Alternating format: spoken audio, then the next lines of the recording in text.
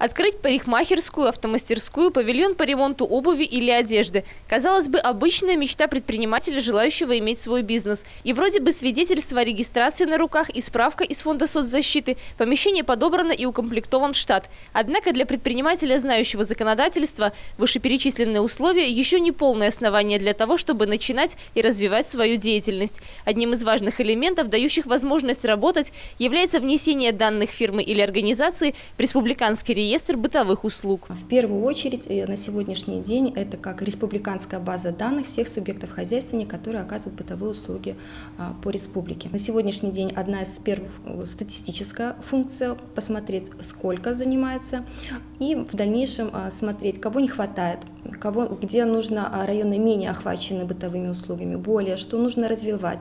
Также в дальнейшем это будет и для учебных учреждений информация, какие специальности более востребованы, менее востребованы, что требуется, кого, каких специалистов необходимо а, подготавливать.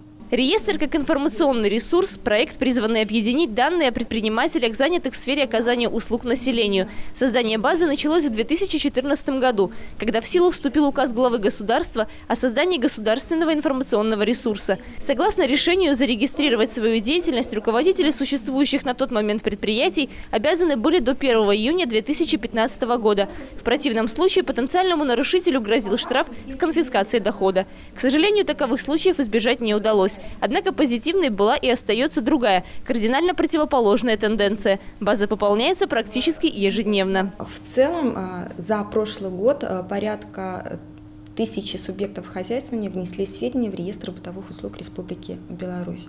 В этом году а, работа продолжается, и уже за три месяца тоже около 200 субъектов подали заявление в реестр. Многие субъекты хозяйствования Бреста уже прописались в новой базе, так как считают эту меру необходимой, причем как в собственных интересах, так и в интересах своих работников. Желая продолжить свое, в буквальном смысле ювелирное ремесло, начатое более полувека назад, руководство сети парикмахерских «Локон» также подключилось к реализации инициативы.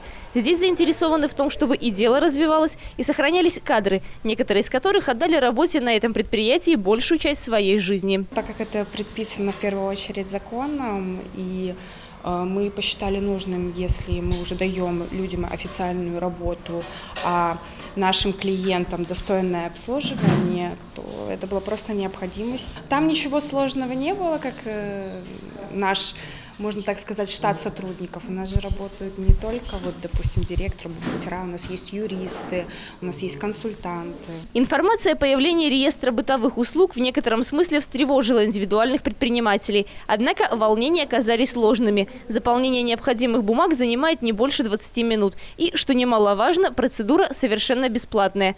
Резюмируем, следуя установкам законодателя, интересуясь актуальными нововведениями и режимами, можно развивать бизнес, не беспокоясь за свой завтрашний день.